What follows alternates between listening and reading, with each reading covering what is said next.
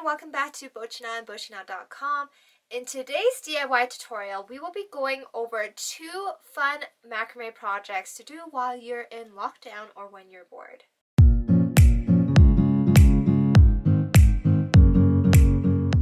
As some of you who follow me on Instagram may know, I recently got engaged and because I got proposed to, I was going to propose to three of my girlfriends and asked them to be a part of my bridal party.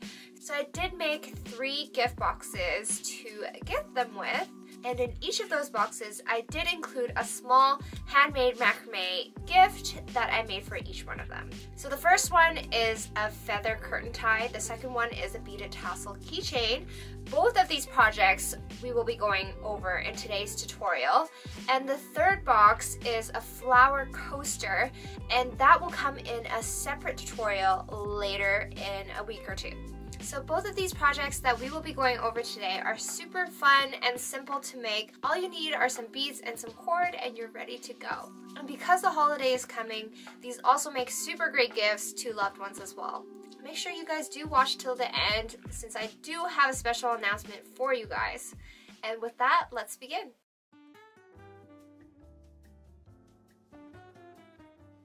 We will now begin our first project, the curtain tie. We will be using 4mm cotton cord for this project. You will also need 26 large hole beads of at least 4mm hole to fit through the cord. Here you will see a 4mm single strand cotton cord in milk white from our rainbow cord line. We will be using this cord in this color to make the curtain tie today. Not to mention the cord is soft and sturdy and very easy to work with. To begin, we're going to take the longest strand of cord at 340 centimeters long, fold it in half, and we're going to start by threading through some beads. To do this, we're going to wrap one end of the cord with some tape so that we can thread through the beads easily.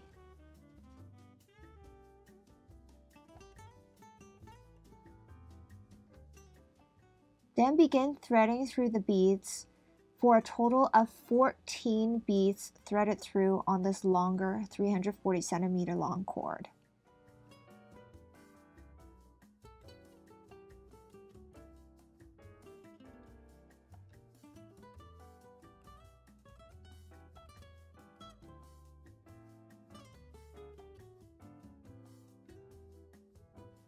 Keep going until you have 14 beads threaded through.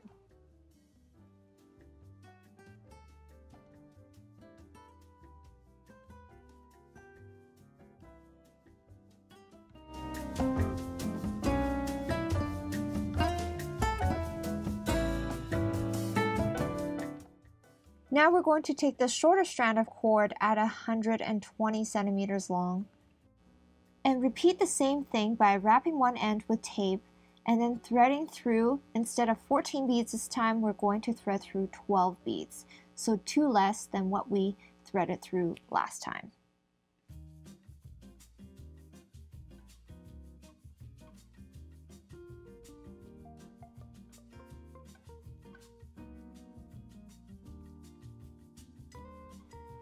Now that we have the beads threaded on the shorter cord and on the longer cord, we're going to place the shorter cord within the longer cord and then we're going to use the longer cord ends which should be on the far left and far right as working cords for several half knots.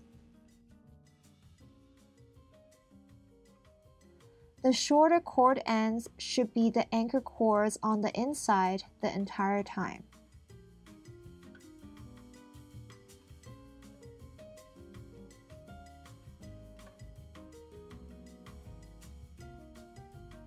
Continue the half knots in the same direction and as you make several of them, you'll start to see a spiral form.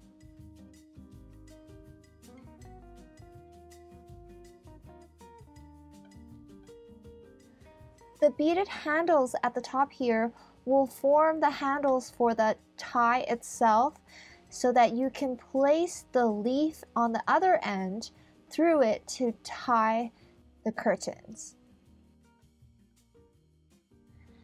Also, if at any time you are unfamiliar with any of the knots used in the tutorial, you can check out my step-by-step -step knot tutorials on my Bochi Knot Macrame Knot Series playlist, or you can check out my 50 knots and sennets tutorial that goes over these knots as well.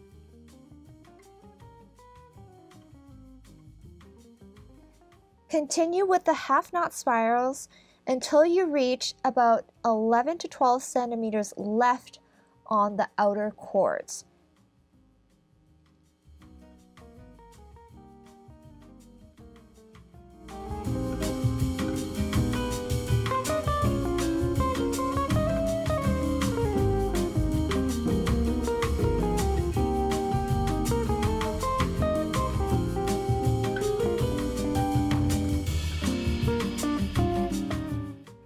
Once you've reached the other end, we're going to make some square knots with some shorter strands of cord to make a feather or leaf at the bottom here.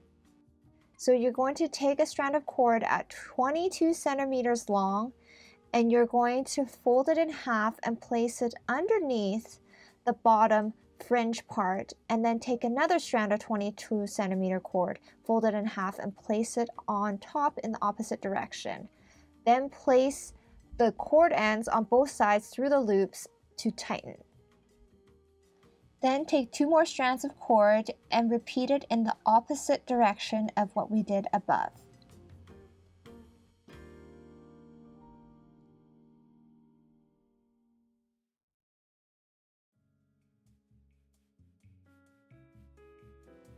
Continue alternating these square knots until you've made a total of 8 square knots.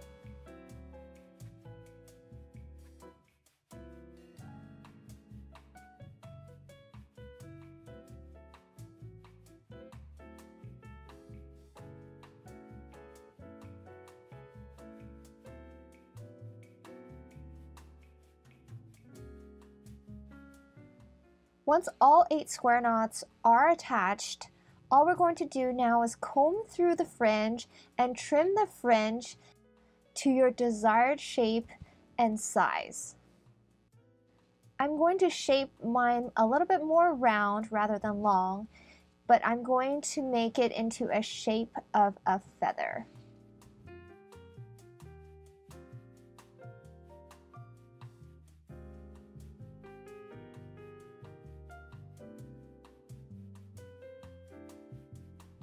This part might actually take you the most time. If you're finding it hard to just freehand cut the shape of the feather or leaf, all you have to do is cut another piece of cardboard or just thicker paper or even just a paper tracer on top, cut out in the shape of the leaf and feather that you want, place it on top and just cut around that.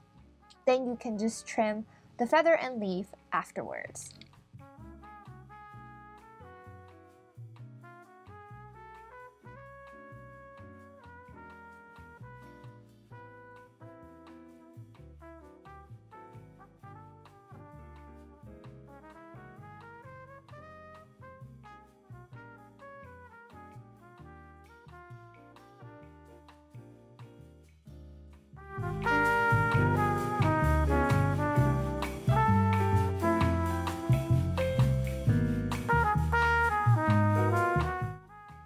Once you're done cutting the shape of the leaf, this is what the end result will look like when you tie this onto the curtain.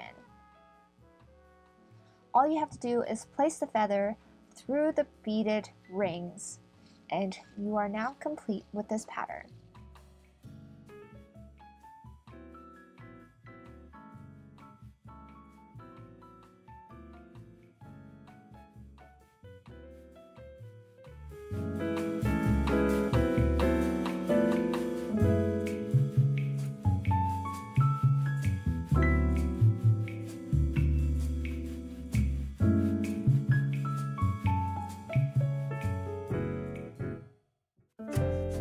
Second project we will be making is a beaded tassel keychain.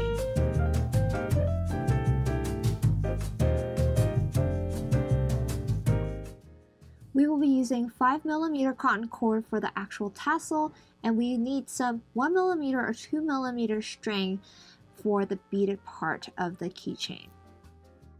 So what we have here is a 1.5 millimeter two ply cotton string, and this is also a part of our rainbow cord line. The color of this roll is natural.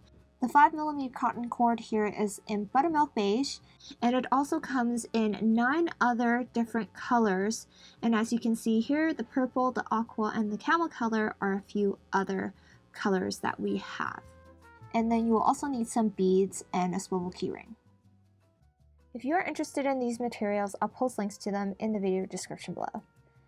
To begin, you will need three strands of string at 30 centimeters long each, and we're going to tie an overhand knot on one end. Then we're going to tape that top end down so that we can make a braid.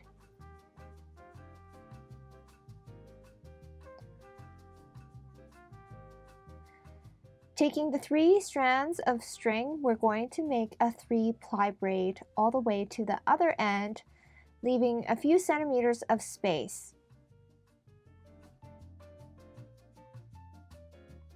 To make a three ply braid, all you have to do is continue alternating each strand of cord.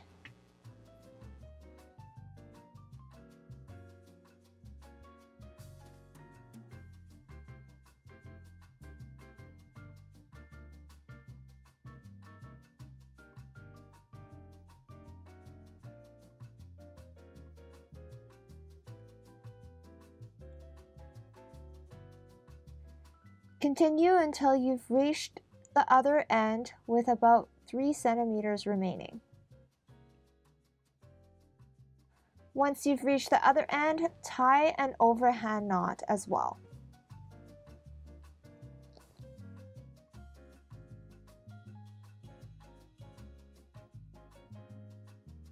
Then take off the tape and we're going to weave this braided pattern through the swivel key ring.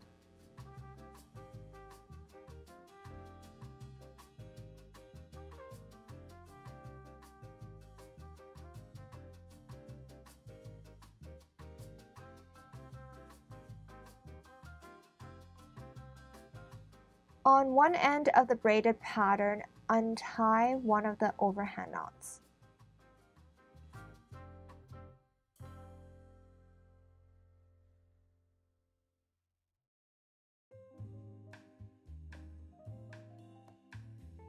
Then we're going to take some tape and tape the three ends together so that we can weave some beads through.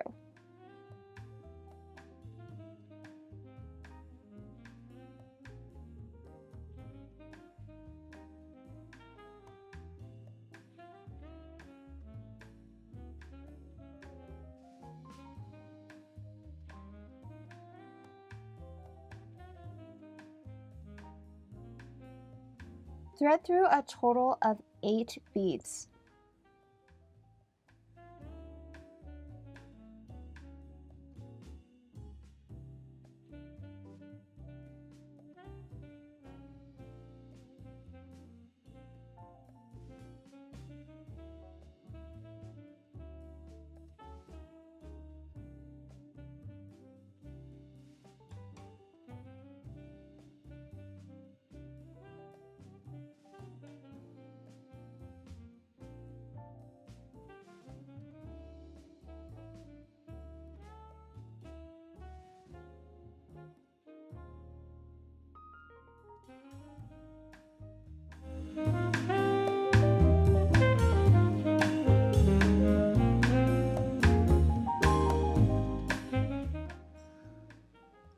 What we're going to do is untie the overhand knot from the other end of the braided pattern and we're going to weave it through the key ring again and then this time we're going to make a large overhand knot with both ends of the braided pattern.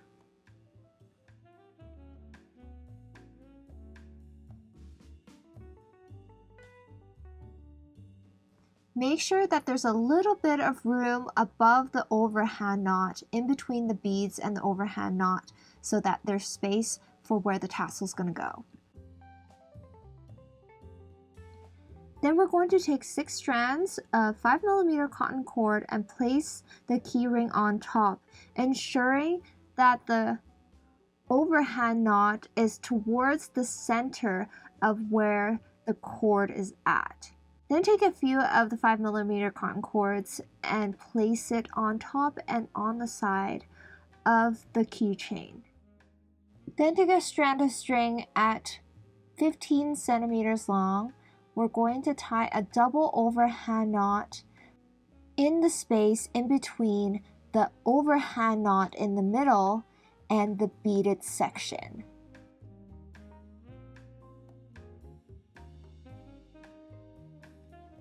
So in the space that we had left from before, in between the beads and in between the large overhand knot, that's where we're going to make this double overhand knot.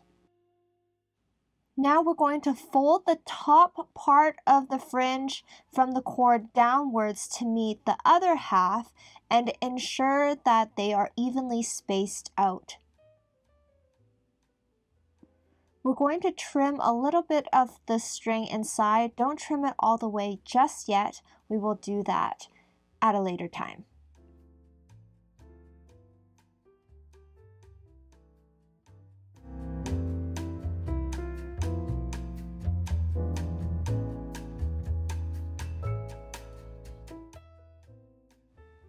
Once the top part of the cords are folded down, this is what the pattern should look like. And now we're going to take that 50 centimeter string and we're going to make a gathering knot just below the large overhand knot in the middle. To make a gathering knot, you will need to take one end of the string and make a loop and hold it with one hand. Then take the longer string and wrap it around the gathered cords several times.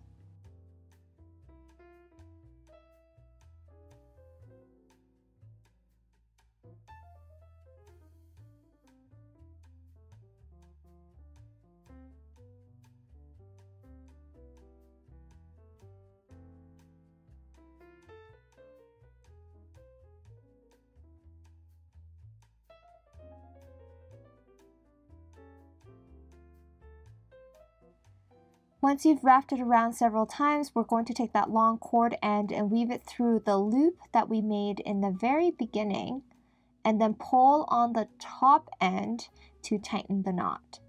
Then you can cut off the excess cord.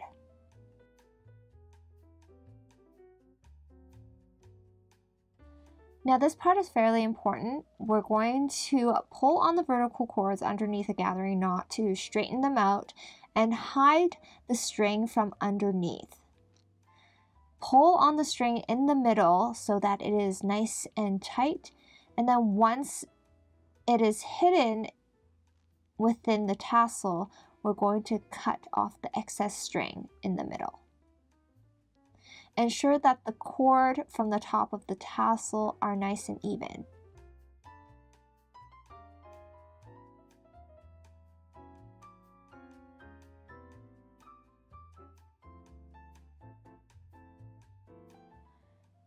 Now we can cut off the excess string in the middle.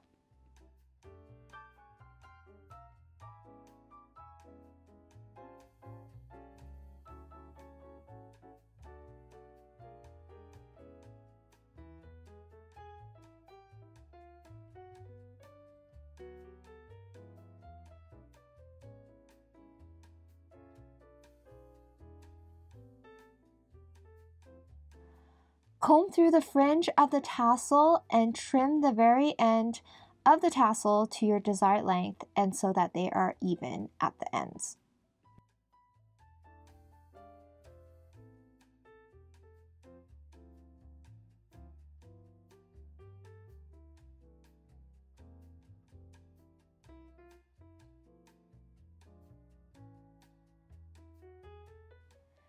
And you are now complete with this beaded tassel keychain.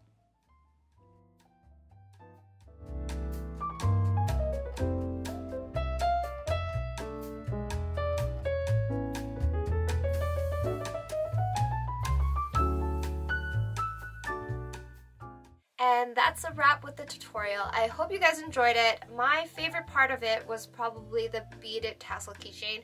I really love anything with beads and tassels.